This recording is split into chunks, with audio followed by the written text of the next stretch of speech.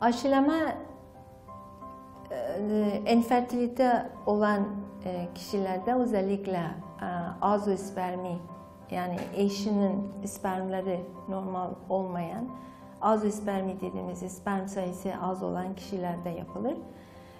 Bunlar birkaç defa normal olarak deniyorlar yani 6 ay ile 1 sene arasında normal gebe kalmadığı zaman o zaman e, aşılama yoluyla veya e, hormon tedavisiyle ilk önce gebe kalmaya çalışılır.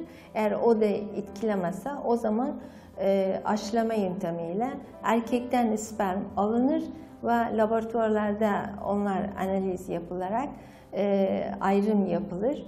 Ondan sonra 7 saniye içerisinde, pardon 7 dakika içerisinde e, kadın e, letitomi pozisyonunda e, yatırılarak e, enjeksiyonla o alınan sperm e, rahimin içine verilerek e, aşılama yapılır.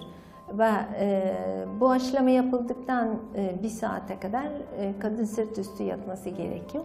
Ki bu, bu da hastane şartları altında steril e, durumda yapılması gereken bir olay.